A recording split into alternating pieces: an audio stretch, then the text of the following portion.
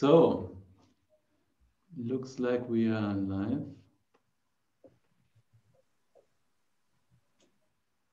Everyone is sound. Are we live? Um, ah, yeah, now we are. We are? Yeah. People are coming in. Excellent. Come on, lovely people, join us. Slowly, slowly, the room is filling up. Yeah, it's actually pretty fast, faster than rooms normally fill up. So, hello, everyone. So I think we wait one or two minutes until everyone's got hands hey, up. David.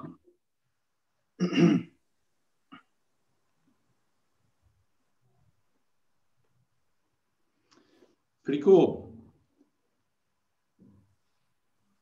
All right, all right, all right. So are we going? I think we should. Let's go. Yeah. Hello, everyone. It's a great pleasure to welcome you all uh, to this webinar. It's going to be a lot of fun. I've been looking forward to this day for quite some time. Um, this is going to be a, quite an extraordinary uh, webinar, I believe, especially because we're bringing together two worlds, two different wine styles, and we'll all realize that they have quite a lot in common, actually. So. So um, without much further ado, I just kind of quickly want to introduce myself. Um, and uh, then I will talk about Ted Lemon of Littorai and Sebastian will introduce himself and talk about uh, Dominik Sona and Köhler Ruprecht. And then we'll jump right into the real webinar. So my name is Konstantin Baum. I'm a master of wine and I do quite a lot of things. I run my own import and distribution business, but I also um, am the education ambassador for the California Wine Institute in Europe. So um, it's a great pleasure to talk to and um, about one of the wineries that are really important for the Californian wine scene because um, Ted Lemon and Littorai have brought a completely new approach to winemaking to California and uh, he's been a pioneer in what he what what he's doing. So um, Ted actually started his winemaking career in Burgundy. He was the first American to run a domain in Burgundy, um, and and uh, this is kind of how he got his entry into into the wine scene. He then moved back to California and uh, looked for a place to set up his own winery in the early 90s and settled in Sonoma, where he founded Littorai with his wife Heidi. And they are now making wines from uh, different, uh, different vineyards in the Sonoma coast, in the real Sonoma coast, and in Anderson Valley. Ted also uh, helped found Burn Cottage, winery in uh, New Zealand, where he also got involved with uh, the person that kind of brought this whole thing together today because uh, the owner of Burn Cottage is also the owner of Köhler Ruprecht. And when they looked for a new um, head winemaker, a new person to run the winery, Ted kind of uh, set up the connection between Köhler Ruprecht and Dominik Sona. So I'm handing over to you, Sebastian, and, um, and uh, your part with the introduction of uh, Dominik and Köhler Ruprecht. So let's do this. Thank you, Konstantin. Yeah. Uh, hello, everyone. Uh, my name is Sebastian Bordthäuser. So skip skip the family name. It's Sebastian. It's easier. And um, I've been working as a sommelier, sommelier in the fine dining for, for over 20 years uh, until I quit like 2014 and went to work on myself. I, I work in uh, sensor, sensory control, quality control. I do education. I, I write books. I'm a um, accredited uh, Bordeaux tutor. I have some deals with some regions. I, I like the wines of um, Alto Adige. I like Portuguese wines, um, Champagne, of course, just to give you an idea for, for my core interests. And of course, I do like German wines and I do like Riesling. And actually, there's a lot of Riesling around here. But when it comes to the very, very core of essential wines, essential Riesling, who have always been great and who always will be great, um, I think there's no way not to come across Köhler Ruprecht. And there are many sites, great sites, just like in Burgundy, where we have the Grand Crus, which always have been great vineyard sites for Riesling in Germany. And for sure, um, the one we're talking about tonight is one of them. But uh, first of all, uh, it's my pleasure to introduce the man himself, Dominik Sona. Uh, he's went to Köhler Ruprecht, I think, in 2008. Ah. Um, the history of, or even earlier. Uh, no, no, no, no, no. Uh, physically in 2010. Physically. As a CEO, yeah, right. Um, and ever since, um, you've been the man in charge, right? That's what uh, that's what uh, people say about me. That's what people tell me. don't, don't always feel like it, but it, uh, that's that's what it is. Yes. Um, started 2010 and uh, with the blending, I was involved in the blendings of 2008, which happened in 2009 when uh, things were clear that I would start working for Köhler Ruprecht in, in 2010 after the 09 harvest. Yeah. yeah. And since then, I'm in Kallstadt, uh, enjoy, enjoy a busy life, and uh, of course, enjoy Riesling. That's the most important, you know, pleasure we have these days. yeah, it's kind of crucial when you work for Köhler, Köhler Ruprecht to be enjoying Riesling, that's for sure. So I think um, we kind of kick off the, the tasting right away um, because I think it makes more sense to, to get, get into the wine straight away and then while we are tasting and drinking, um, we, we, can talk more about uh, yeah, the, the whole history and the winemaking philosophy and so on and so forth. So um, everyone who's ordered the wines can actually now pour them if they if you haven't. Uh, we, I think we all have poured them uh, little a little bit ahead because it makes a lot of sense to give those both of those wines a little bit more air. So um, go ahead and sip, uh, have a have a sip of wine. I'll actually show you um, where where we are, where we are, where we are going to start in the Pfalz, and uh, Sebastian and Dominik will talk a little bit more about about the wine. Yeah. Okay. You start your presentation. Yep. That's where where we are all together. Yep. That's uh, and now we're okay. getting getting closer. The hot spot. Yeah. The Grundschule Kallstadt is also. Yeah, yeah, yeah. yeah. dominant I think it's actually a bus stop. I once traveled there by bus, which only few people do because I think uh, most of them you, you, need a car. Nobody does it. So, as I said, I don't know if, if uh, each and every one of you is familiar with the um, Köhler Ruprecht, but uh, Köhler Ruprecht is a um, is a house with a long tradition. And um, this tradition is really strongly connected with um, the site, the winemaking, vinification, and everything. And the site, of course, as one of the greats in Palatine, and if not Germany, is the um, Saumagen, which literally translates to the pig's stomach.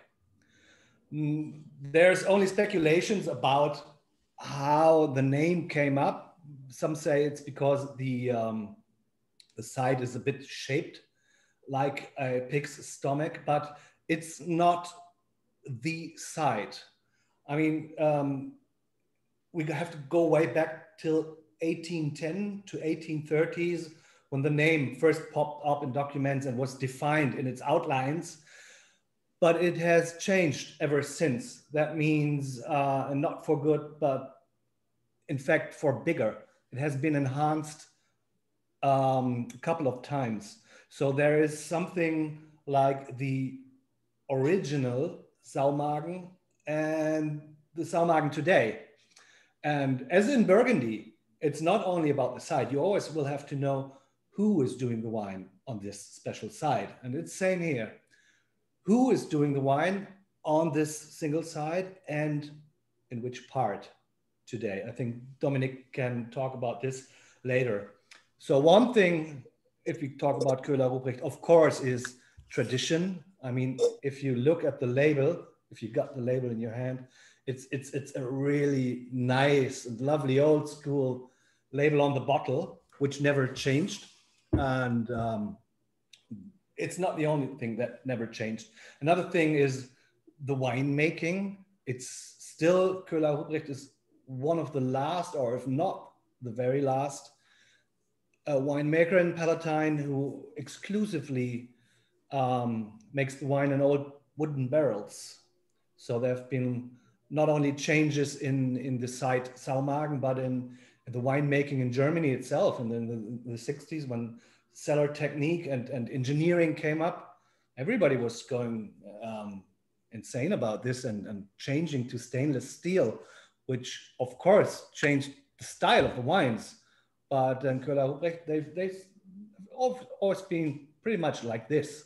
So I would say old school, but it's I don't know if it's an old school or it's, the only school or true school, but that's not the point here. And um, another specialty of the uh, of, of Köhler Ruprecht is um, the um, strong ties to the German system of predicates. So German wine laws is not only confusing to us Germans ourselves, but I think it's even more confusing to, to the people outside of Germany.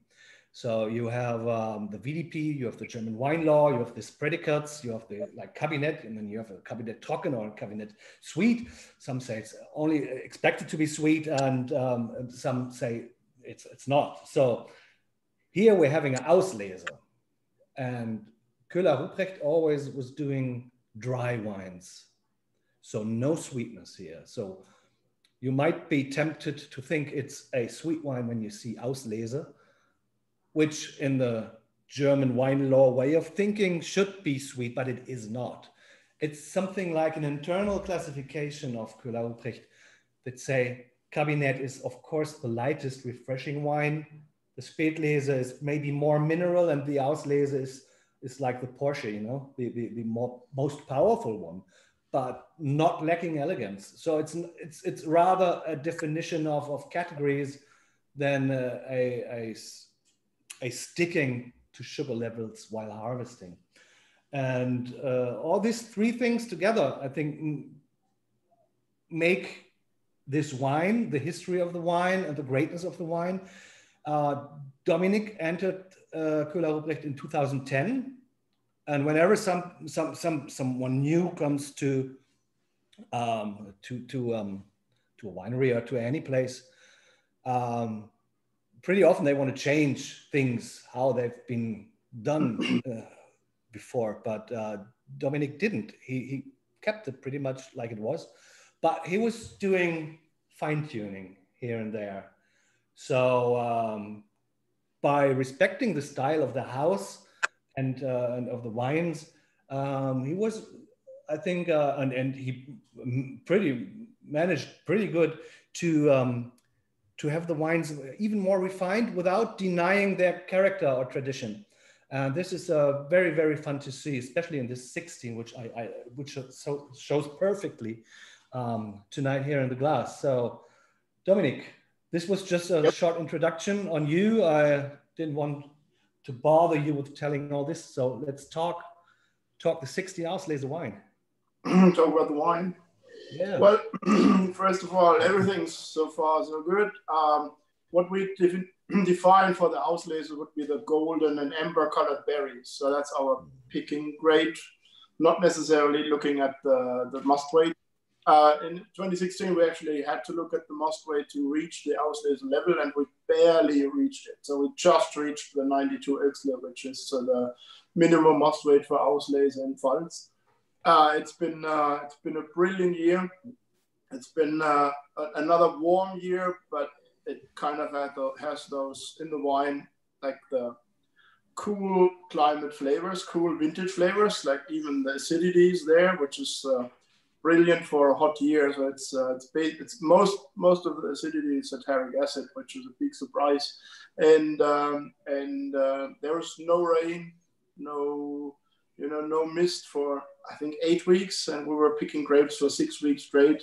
Uh, we even had a break in between, and uh, and this was one of the last the last picks. There's one higher level of this wine, which will be the R, the reserve wine.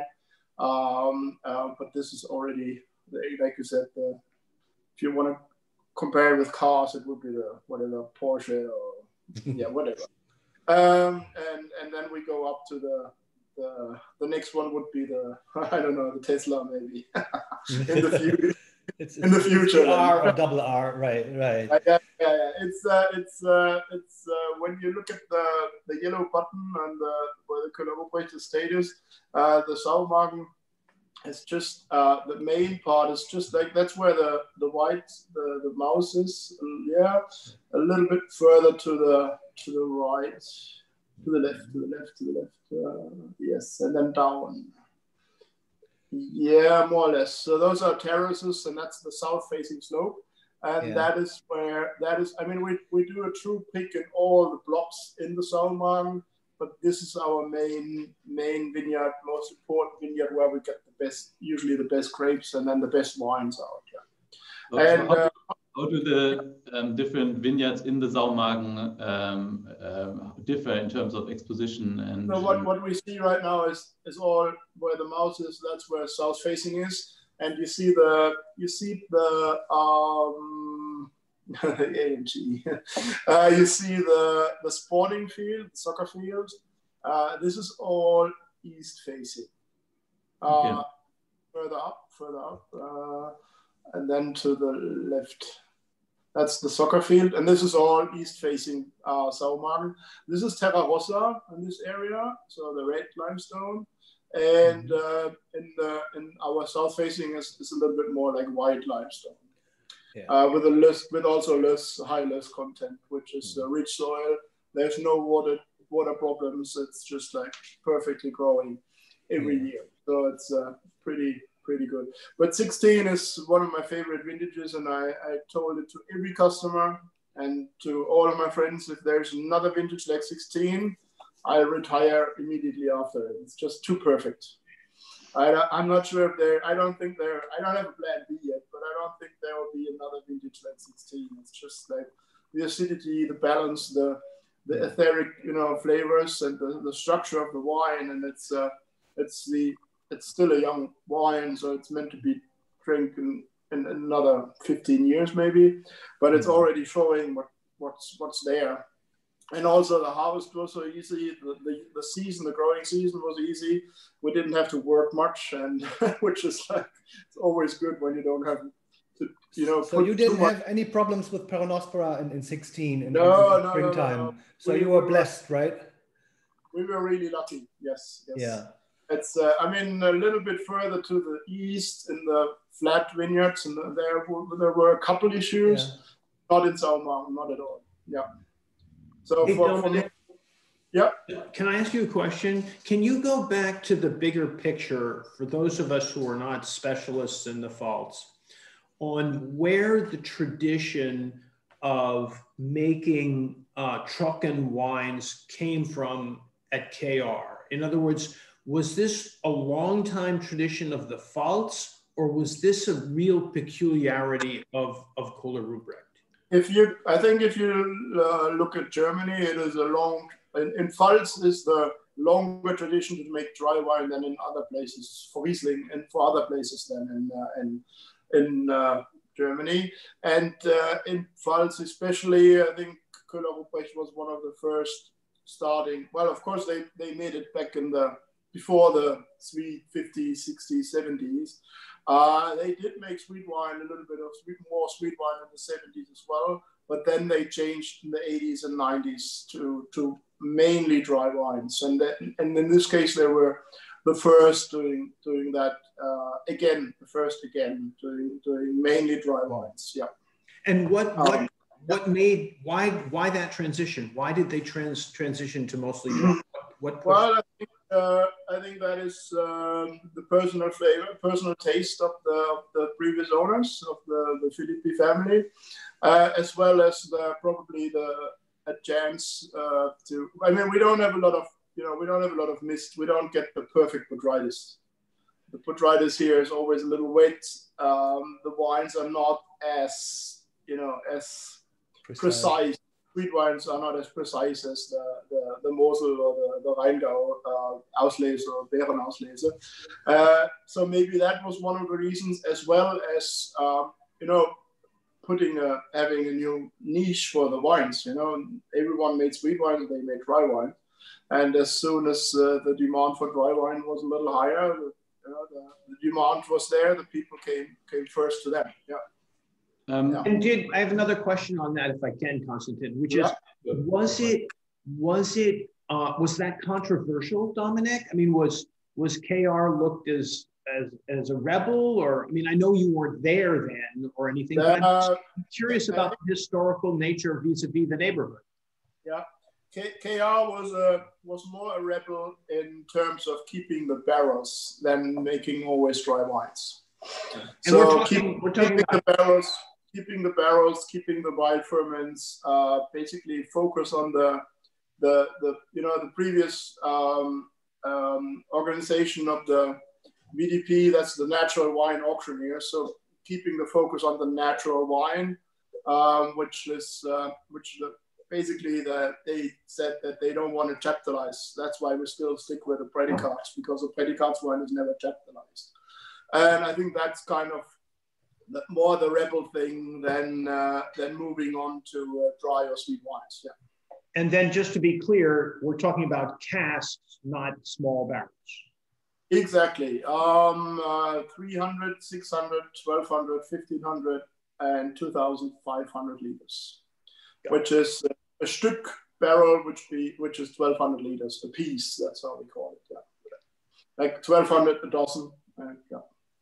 Not, what I, not what I find quite interesting. Yep. Sorry, Dominik. What, what I find quite interesting in having you two here in this webinar, and, and I and I already see from Ted's uh, questions that that um, well that there is is maybe some more background that needs to be explored. Um, there uh, is the fact that you both kind of represent very distinctive wineries that follow their own path. But the main difference, at least in my opinion, is that Ted kind of started with a blank slate and uh, in, in a place that was a blank slate, basically. So, so in the Sonoma Coast, not a place that was known for, for winemaking, whereas Dominik um, started well, in a winery with a lot of tradition in a place that has been making wine for a long, long time. So, so my question, and it might be a good transitional question as well to kind of move on to, to Ted's wine, uh, is Ted, for you, what, what's your, what, what do you, um, what do you miss in terms of, I, I, I personally see a lot of advantages in starting with a blank slate, slate but for you, what, what is the big advantage in having such a such an interesting history, such a long history that you can fall back on when you're making wine and winemaking decisions?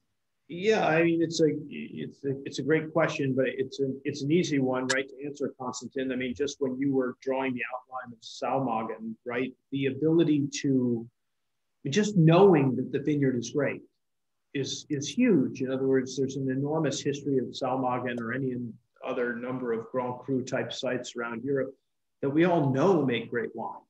And so really your job, you know, if you're taking over an estate there or whatever, is, is to live up to the expectation of that site.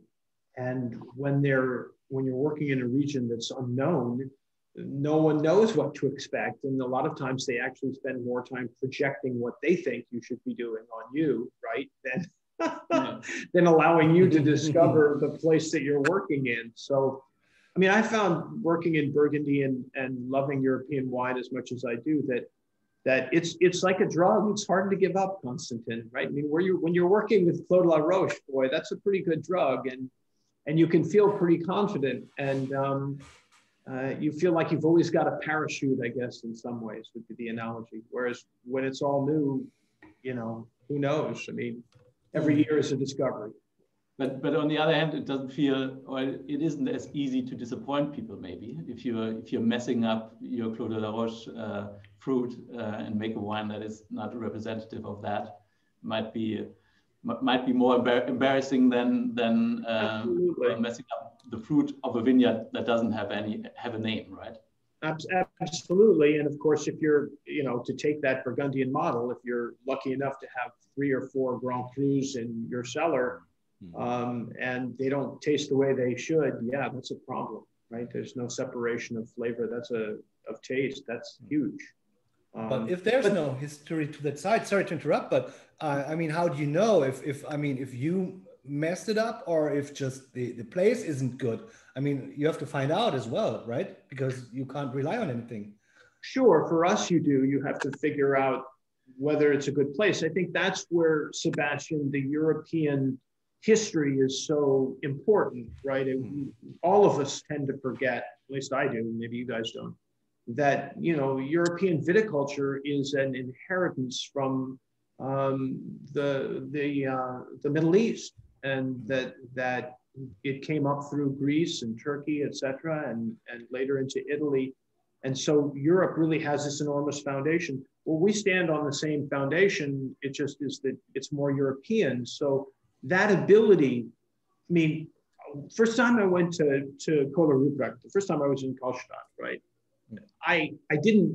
I was with Dominik, so of course he showed me Saumagen, but he didn't need to show me that that was a great vineyard. I mean, you can just stand there and you can smell it, right? It's south facing. It's got that beautiful. I can't remember what percent slope is, but gentle to to moderate slope. And that's the brilliance of European viticulture is if you if you spend enough time visiting the great vineyards of Europe, you can smell what a good site is, or what, at least what site that has great potential. Now, is it going to be, you know, the best or a B grade? You never know, but you can tell. But on the other hand, for you, Dominik, how? I mean, you you made wine uh, in California, right? You you you worked worked abroad before, so do you sometimes feel like you would love to be in a place where where where not every law is already written and everything is kind of uh, set in stone and you could in, decide in, what, what, you want of, to do? In case of, uh, that's a good expression that not every law is written. I, you know, that's, uh, that's, that's a pretty good expression because uh, here things are, you know, they for sure we know the sites, we know how to do things. It's, uh, it's probably much easier, but uh, if you want to, it's like the the excitement is still there. But if you're if you're up for an adventure, I'm not sure if Europe is the right place. You know, you know what I mean. Yeah. It's uh, it's uh, it's everything, or not everything, but there's a lot of things which are set. Um, and uh, and if you think that you know, especially these days with the climate change, you know, if, if you, you I mean, are things still the same in five or ten years? And uh, but if you're stuck in, in a village in France where you can only plant one variety, like what do they do in 15 years or in 20 years? We are a little Germany is a little bit uh, more liberal, but still, um, still uh, there's uh, the new world is a little, you know, if they if it doesn't grow well, they, they take the vineyard out and let trees grow, and then they move on to the next part. I mean, that's how they developed most of their countries. Um, yeah. So that that is a little bit more of a a little bit more of a freedom, at least in your mind. But if the wine is as good or can be as good, I think they need to work way harder on the on the on the plant and on the in the cellar to to to get what they want, probably. Yeah. Yeah. And that is um, a little e easier in Europe, I would say. Yeah. Yeah. Um, just a brief brief point uh, that I just want to make, make. I think I didn't make make it in the beginning. Um, it's great if you have questions, just answer them. And there's one uh, just uh, just ask them in the chat, and and we'll try to answer them all. Um, there's one question on the Köhler Ruprecht Pinot, uh, whether it's grown in the same area. I, am guessing. Uh, yeah, it's uh, it's there's another block around a little bit further south but most is around the village. Uh, the Pinot is more or less mostly around the village.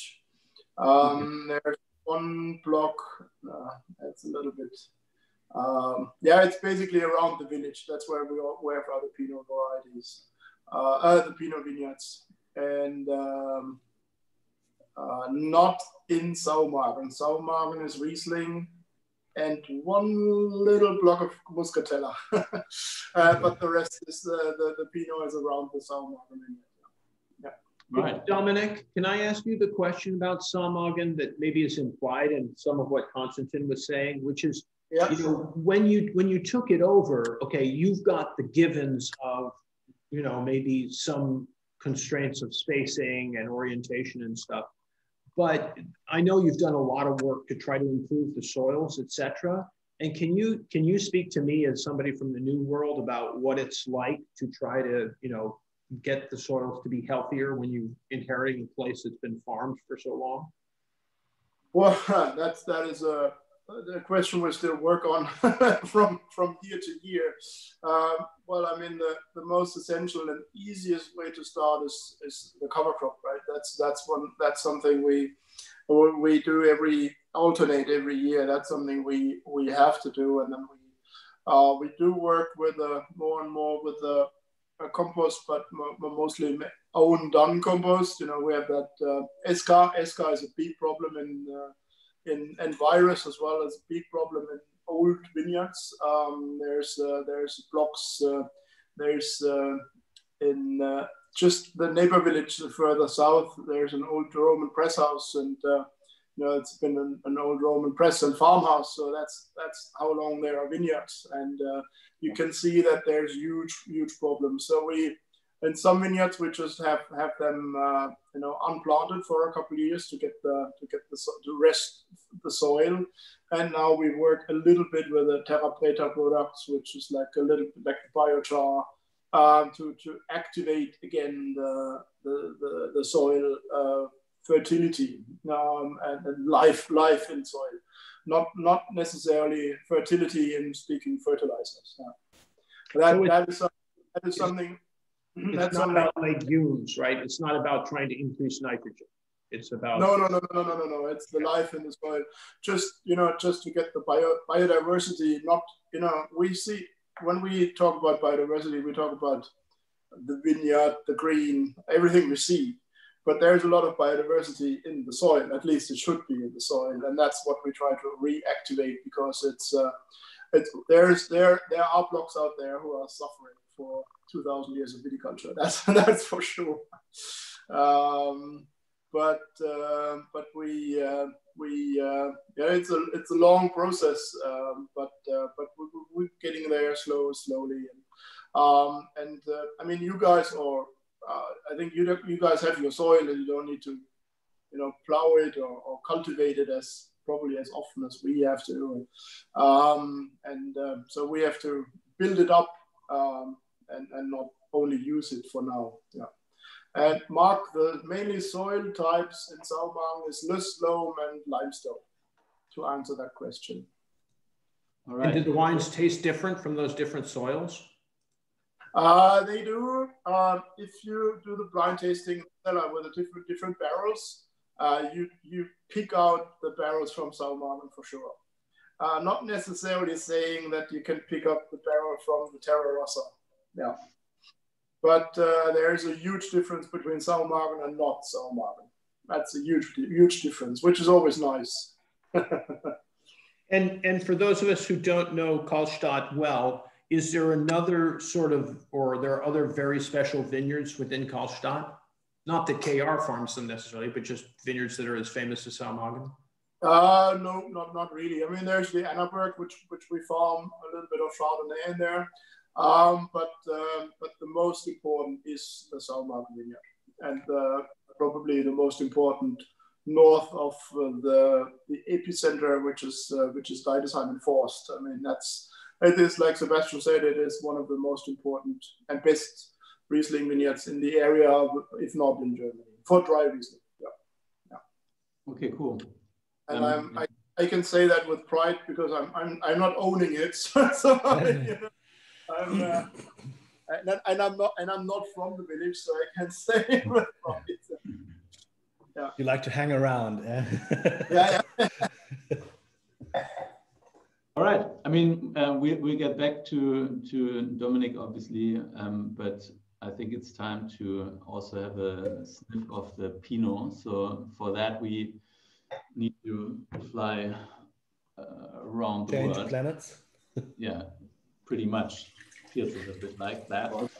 So, so um, this is um, this is where Littorai is based, the Sonoma Coast AVA. Um, it's generally shaped like a lobster. If you use your imagination, you you'll see it. But um, see the claws right at the, at along the coast, and then um, goes deep into um, Carneros. So, so it's actually a pretty big AVA, and there's still quite a lot of controversy about whether this uh, should actually be one AVA um, or whether it should be broken up or whether we need a, a clear definition of what the coast is actually. But um, this is where where uh, Ted found his his spot where, where he decided to settle down. Littorai means coasts, so so um, I don't know whether the name existed before you found the place or whether whether you you decided to name it that because you were at the coast. I, from what I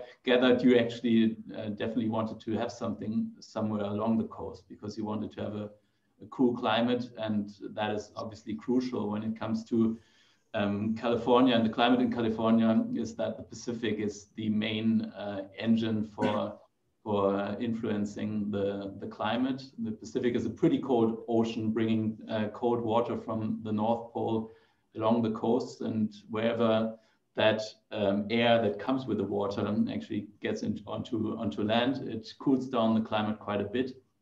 And that's why um, the, the places right at the coast are much cooler than most of the places further inland.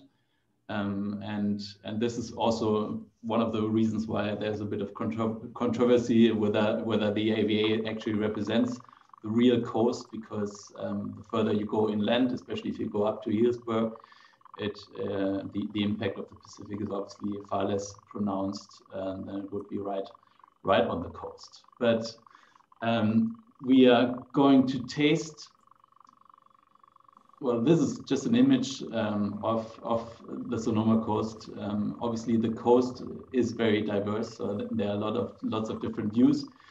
But um, this is a beautiful view. That's why it's included in this presentation. And it kind of shows that it is different to, uh, for example, the Napa Valley, probably one of the places that most people know best from California. Um, it is it is much more isolated. There's much more nature. There are um, small pockets of vineyards. It's not all planted to vines. Um, there's no monoculture as such um, in in those uh, places at, on the real Sonoma coast. So, so it's a bit, bit of a different place, and it's one of the most beautiful places um, for me. I, I actually wanted to drive up the coast this summer, um, but that didn't work out for obvious reasons. But but, but I'll, I'll come back and, and do that next time. So so let's have a look at the winery. Um, this is where Ted and Heidi settled down uh, with their with their winery. It's actually 12 hectares or what 30 acres, right? Um, yeah. uh, of, of, of, uh, of uh, ground, but it's not all planted to vines. Just just a few acres are actually planted to to a vineyard, which is this vineyard here, right? The the pivot um, vineyard. So.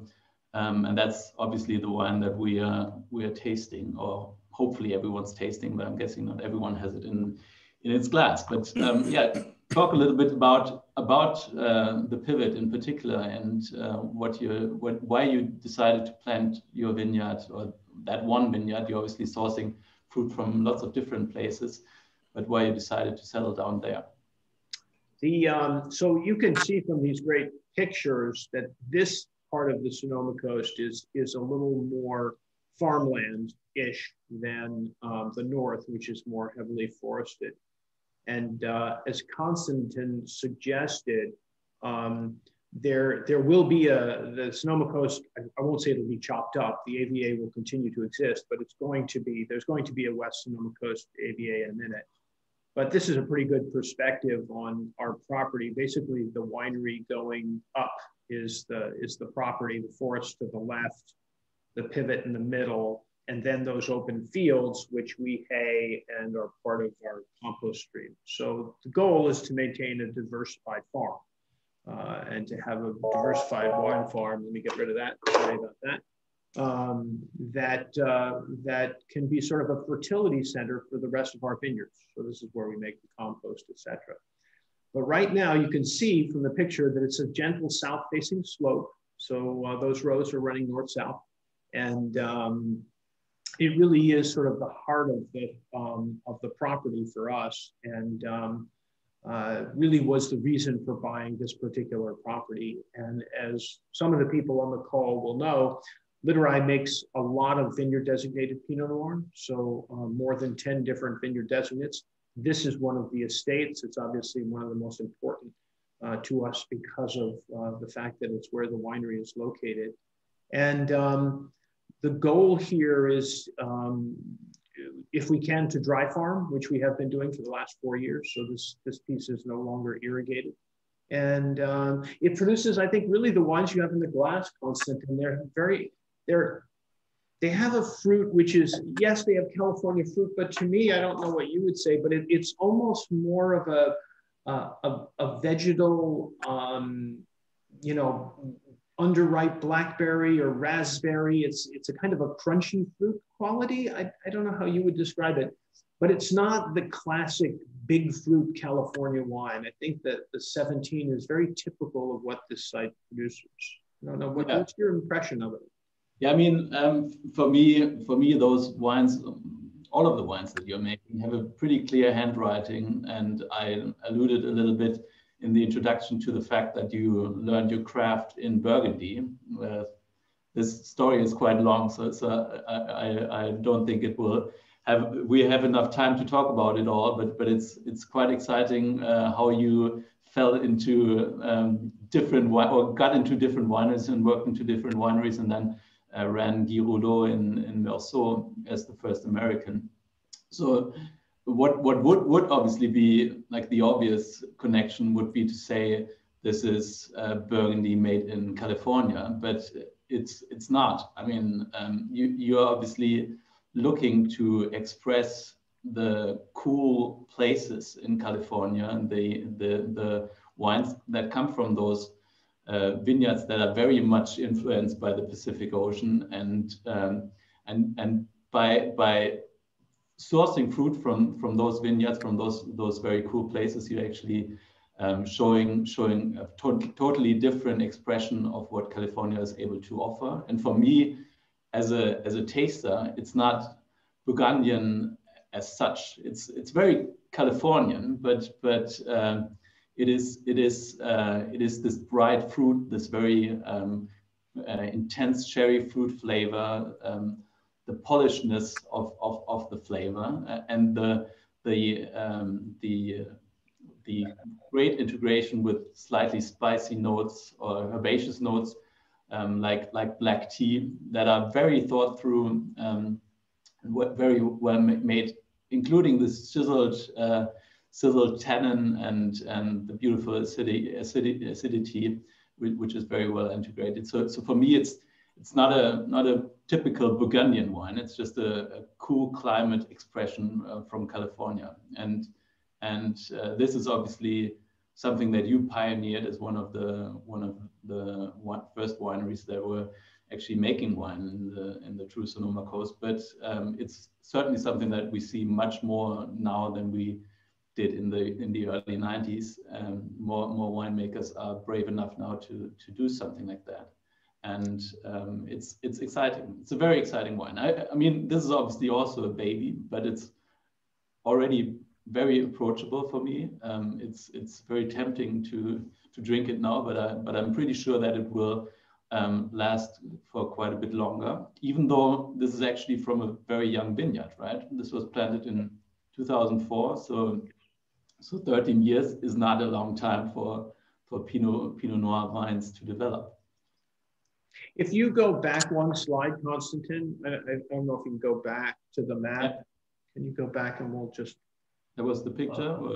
Uh, before the picture, right? Yeah. There you go. I guess it's two slides back. Uh, there we go. You had the, yeah, there we go, with the AVA on it. So if you take your cursor, Konstantin, and go from the G in Guerneville up above, yeah, keep going up. You see the G in Guerneville to your right. Yeah, you don't have to go in closer. You can you can scroll back out if you can.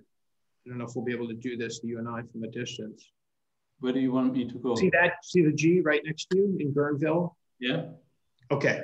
If if you if you if you can scroll out. Scroll out. Okay. A little bit. Yeah. Let's see if we can get the two of us can manage to pull this. Okay, that's good enough. Yeah, you stop right there.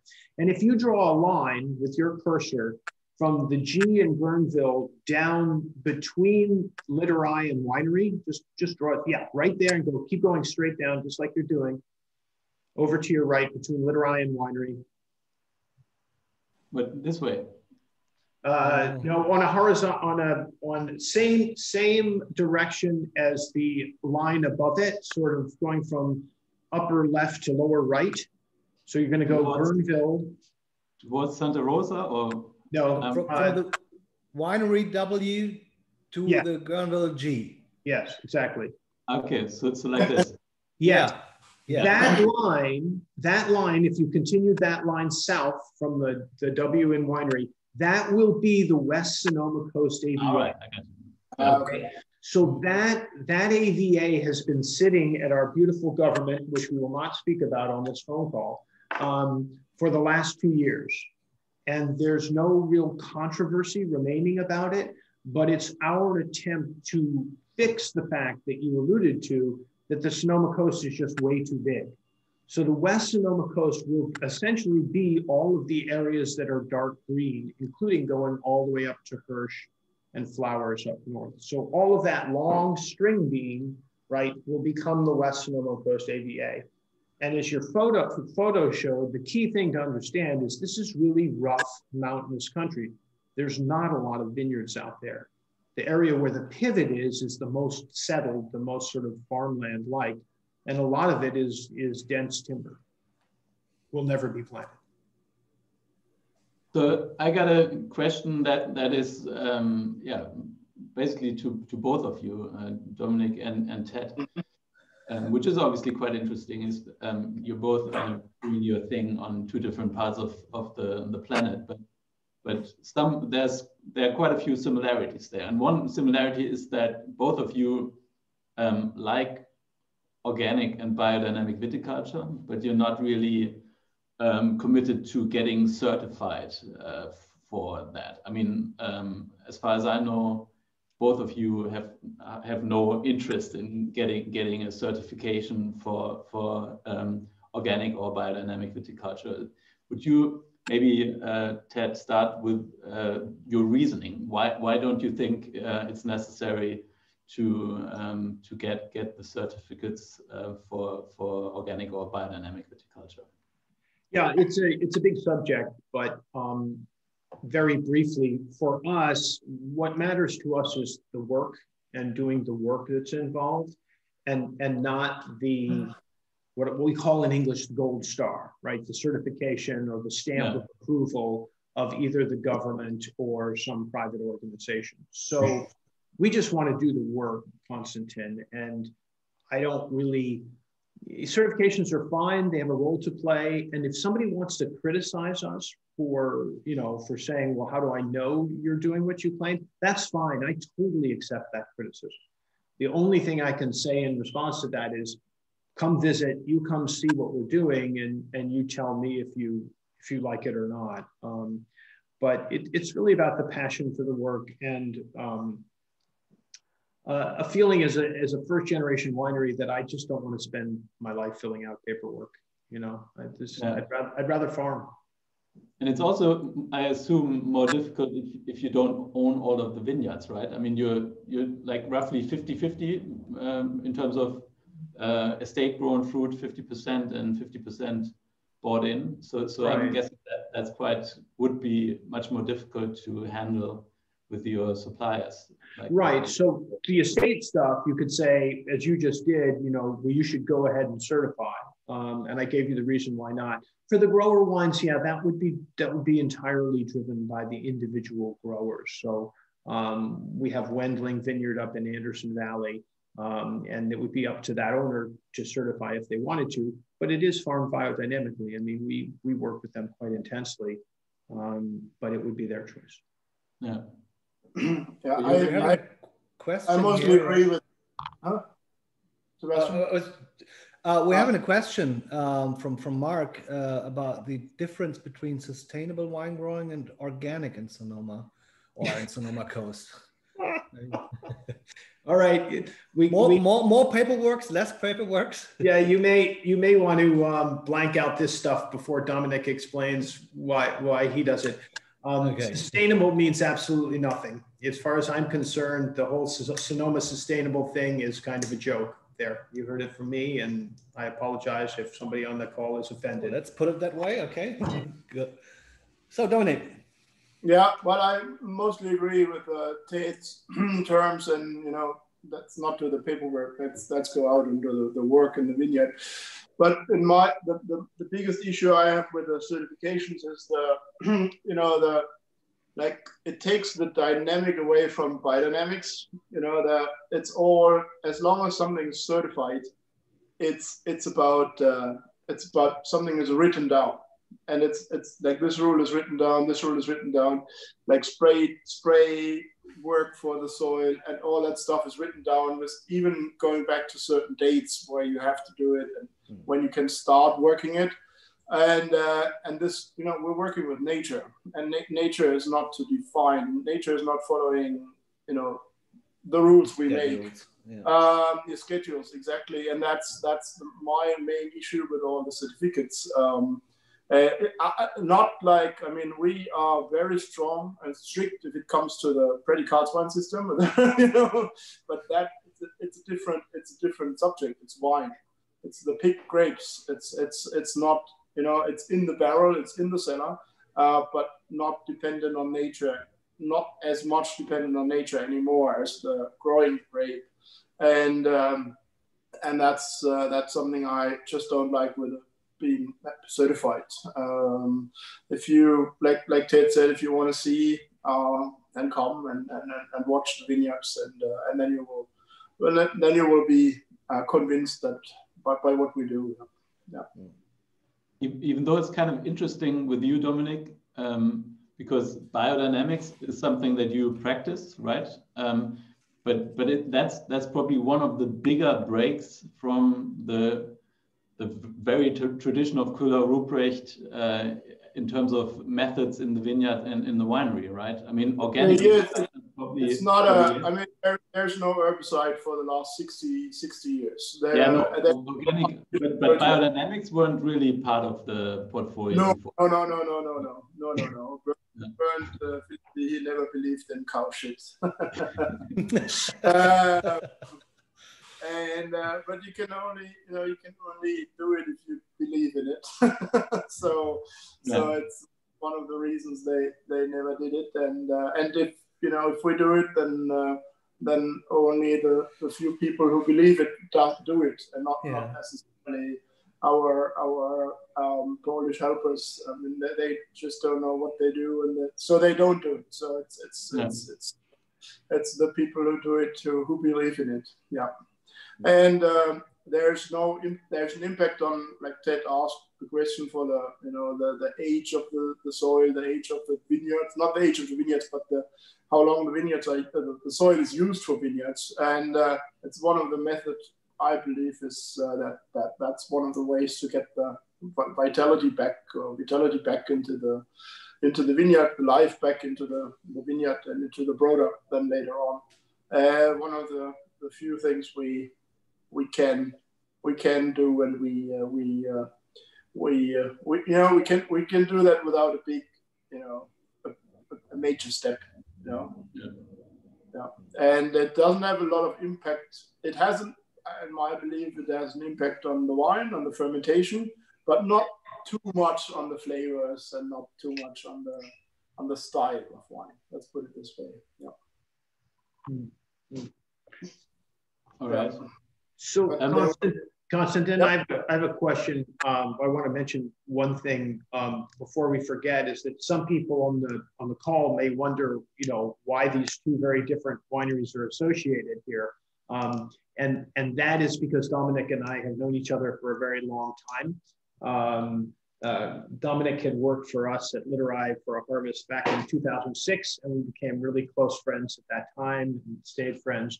And then I have a great story about Dominik helping us out in Burn Cottage in New Zealand. And Dominik will remember this, he'll probably smile. Um, but we a lot of the soils in central Otago, right, are are are very wind blown, highly eroded, low fertility, low organic matter soils with very little growing on them.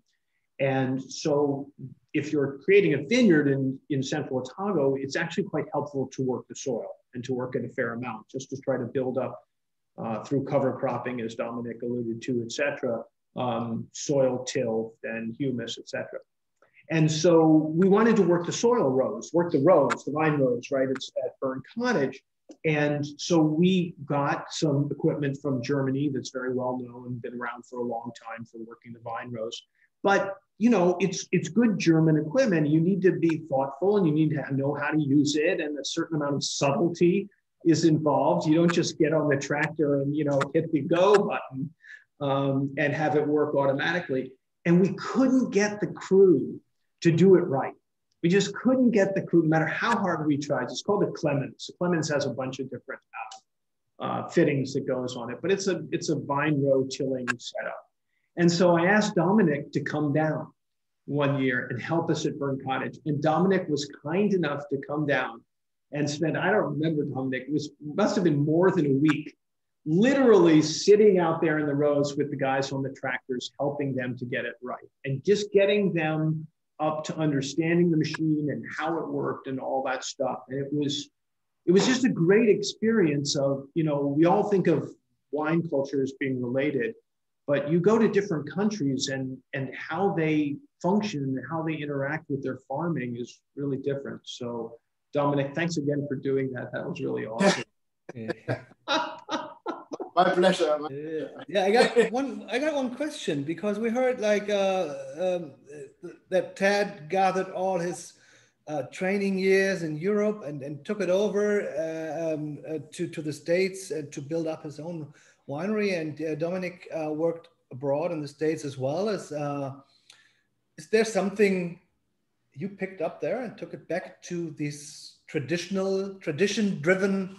um, company at home in Kallstadt to to uh, loosen it up somehow, or? Well, I mean, you always learn a lot of things, and mainly you you, know, you learn the things how not to do it. Right? When you're back home, right? Um, but uh, no, just joking. It's uh, there's a lot of you know there's a few things, not not a lot of things. There's a lot of things I learned for life. Uh, but I, there's a few things I learned and where the US uh, I think especially the US is ahead of us. Is like, you know, what watching the vineyards with the, you know, the back with the NASA with the, um, you know, the um, the activity of the chlorophyll and all that stuff. That's mm-hmm. and the water, since they always have water issues, and that watching the vineyards from space basically to see how how things go, and that's something which is not really happening here. Not yet. It's coming with a climate change. That's something which which uh, which was uh, impressive for me uh, for sure. And also there's a one side effect for the now Ted mentioned the tractor driving, but uh, what what I what I like is uh, is or I, I especially there is more like an economic economical thing is that uh, you have a lot of contractors, you know, farming the vineyard the way you do want them to do. And uh, and here, in, in, you know, everyone has own tractor, maybe two, and especially if it's a Fendt, life is perfect.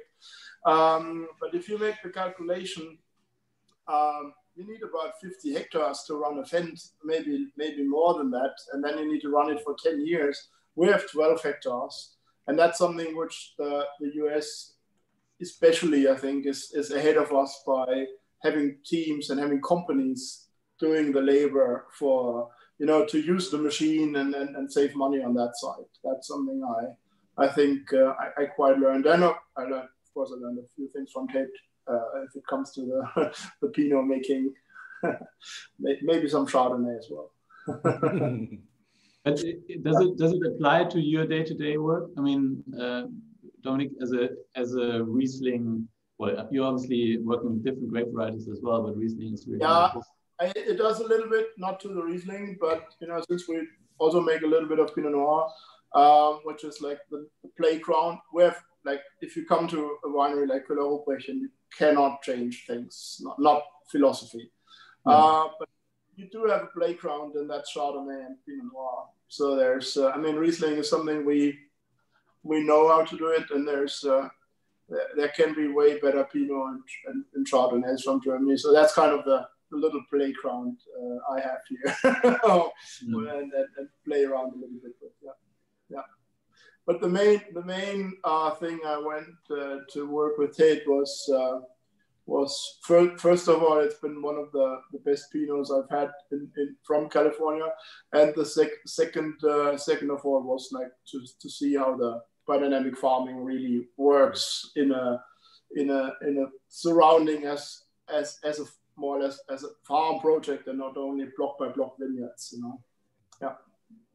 I gotta say the um Saumagen auslese is really singing now. Um, beautiful wine and and the amazing thing about it is really um, this combination of, of fruit and yeasty flavors and this mm -hmm. bright bright acidity that breaks all of this I mean, there's quite a lot of body there, but but it's yeah. really been broken up by by uh, the fresh acidity that, that, that That's the, the, beauty of 2016. That's uh, mm-hmm. uh, it has basically there's not much missing in it. yeah. um, I'm a little, I'm a little. I, I, I'm not afraid that there won't. I'm, I mean, the vintages are good and, and, and getting better, but this is this is special. Yeah. I don't I don't think I need to have a plan B. I think I can stay in the winery for a little longer. Maybe the plan Magnum.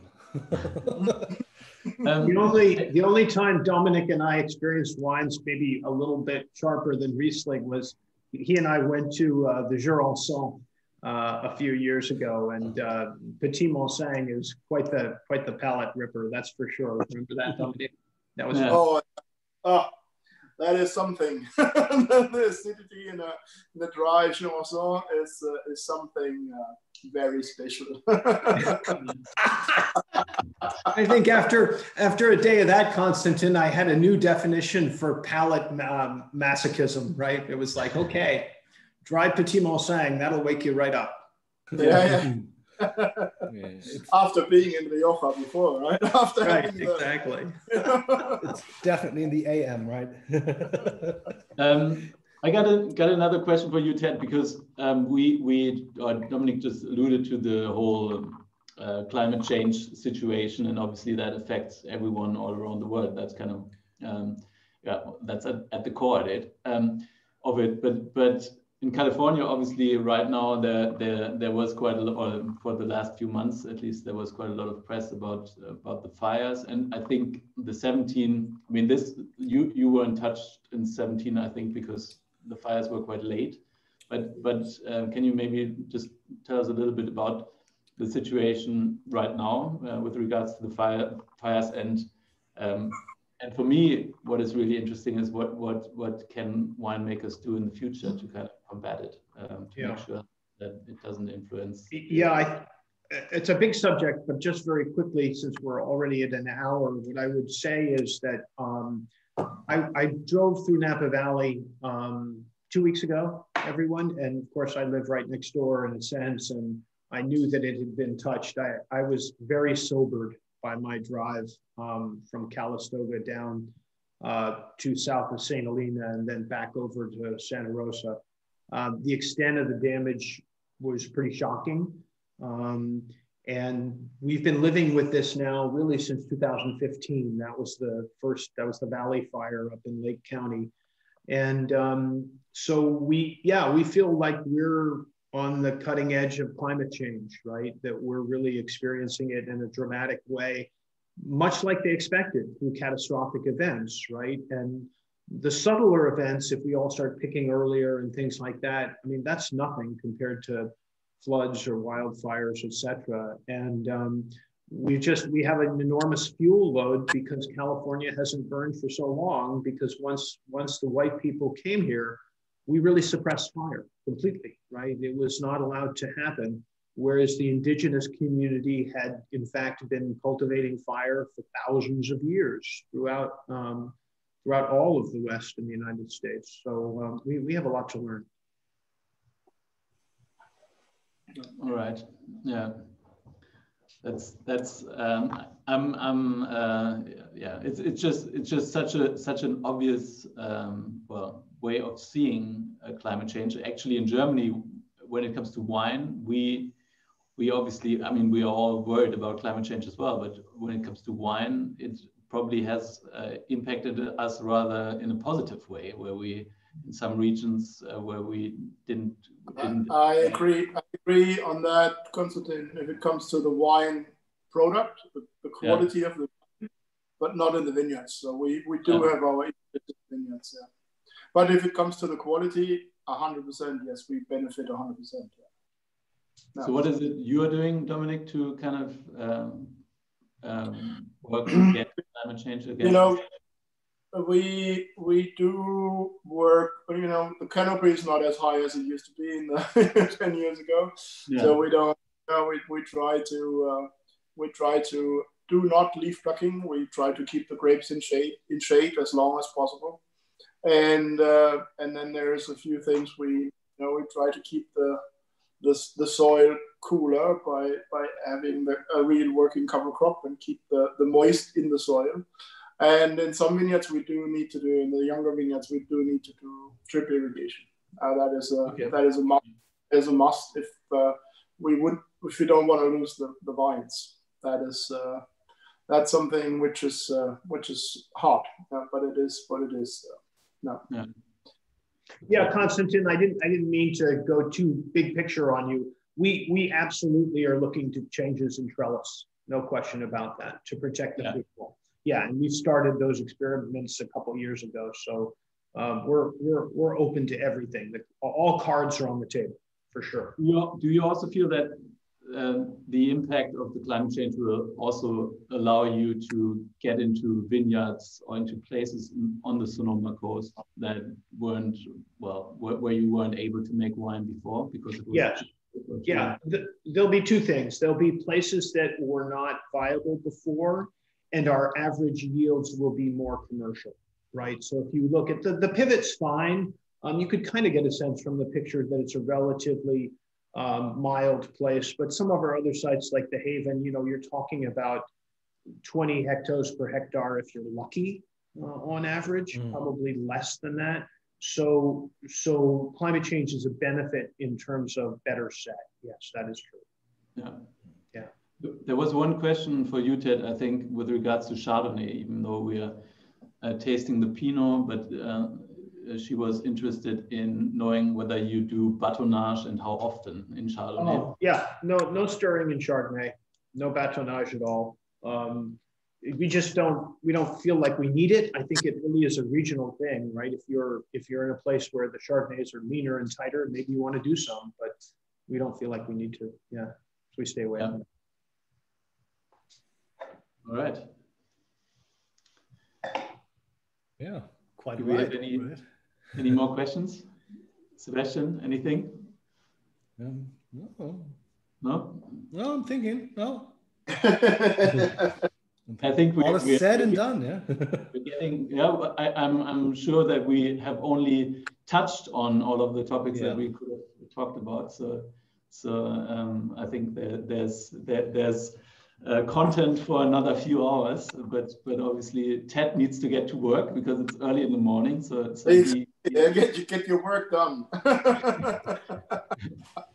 we can obviously now relax with uh, those two beautiful wines here in front of us, um, here on the German side. But but I think it was it was really uh, interesting to having uh, interesting having you both here because it's such a funny thing. I mean, the wine world is is such a big place, and there's so much to learn and know. But um, it's amazing to see that two wineries on on uh, two different sides of the globe, making two completely different wines, still um, still wine styles, still still kind of have a lot in common, and and it's obviously great uh, to also know that you're you're friends and you've been uh, you, have worked together, and obviously now Koehler Ruprecht is also importing Ted's wines. So if you're if you're in Germany and want to want to um, get some of uh, Ted, Ted's wines, then uh, then you can do that through Koehler Ruprecht, obviously.